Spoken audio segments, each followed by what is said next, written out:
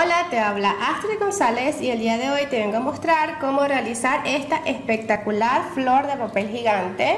con tres tamaños de pétalos, de los cuales le voy a colocar siete pétalos de cada tamaño. Para realizar esta flor voy a utilizar una base con forma de heptágono que tiene siete partes iguales de 8 centímetros